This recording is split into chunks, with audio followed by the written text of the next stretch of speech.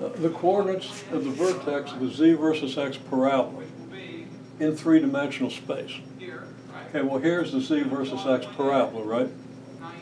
Here's the vertex. Okay, well, we can see that at this point, this is directly above the y-axis, right?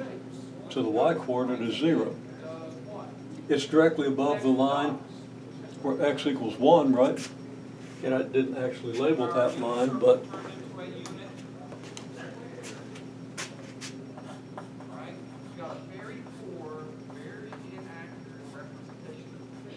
that's the line x equals one.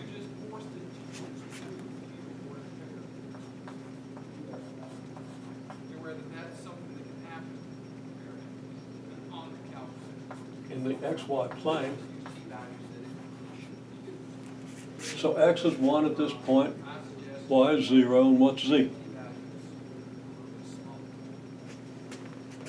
Well, yeah, right here's the vertex, just in this, you know, just above this x prime axis here, right? It's two units above, right?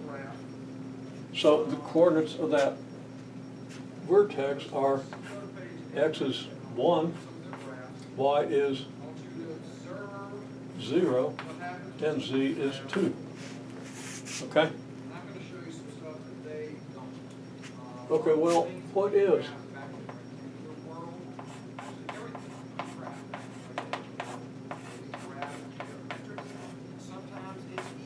f of 1, 0. Well, f of xy is x squared plus 2y squared, right? So f of 1, 0 is 1 squared plus 2 multiplied by 0 squared.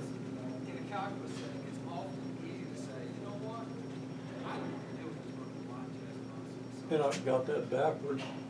Um, it's x that's 0 and y that's 1, right?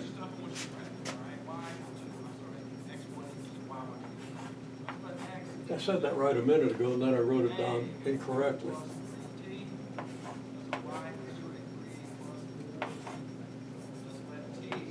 So, x is 0, y is 1. So x squared plus 2y squared is 0 squared plus 2 times 1 squared, which is 2, which is what I expected to get, but didn't get. Okay, now this is consistent with this, right? This is a point x, y, z, right? And z is f of x, y. So this is